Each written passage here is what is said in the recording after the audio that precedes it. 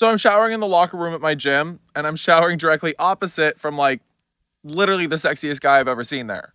To briefly catch you up, I started seeing this guy a couple months ago there. We started chatting like every time we see each other, and we're always like changing right in front of each other. So I'm trying to avert my eyes to not make him uncomfortable because I don't think he knows that I'm gay. We had just finished hanging out in the sauna together with both of our towels open for the first time ever, and then we both went to the shower at the same time. And even though the showers at my gym have curtains, not everybody closes the curtains when they shower, and this time, neither of us closed our curtains. So I'm showering opposite this guy, and I'm trying not to look, but he keeps chatting with me. So, like, I'm making eye contact with him while we're chatting in the shower. And even though I'm not looking directly at it, it's hard not to notice certain things. And I happened to notice that while we were chatting, this guy kind of started to get like semi excited. So, of course, I found this pretty exciting myself. So, like, as I'm chatting with this guy, I'm mesmerized by what's going on, trying not to look, and at the same time, trying not to get excited too. I mean, honestly, going to full attention with each other in the shower would be a pretty solid way to come out to him, but it'd also be pretty embarrassing, so I wasn't trying to do that. So I keep chatting to this guy, like, as if nothing is happening. We're literally just talking about, like, what workouts we were doing that day and, like, what we're focusing on at the moment.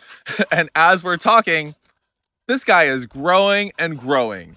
Clearly, he got embarrassed because he started like staying turned around and like trying to keep that part facing away. And I know all of you in the comments are going to be saying how this guy's gay.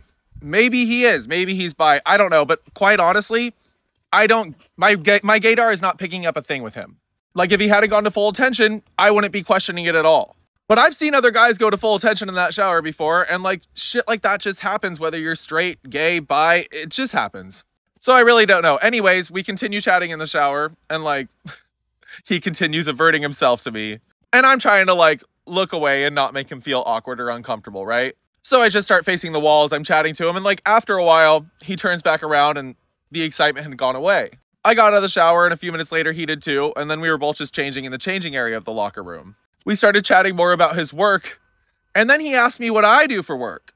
I always get so freaking awkward when people ask this question. I don't really know how to answer it. But recently, when people have been asking me, I just been telling them. So I was like, oh, I'm one of those like content creators, like TikTok spicy guys. He was really intrigued by that. He said that he actually tried that himself and like couldn't really get it to take off. We walked out of the locker room together and continued chatting on the way to our cars.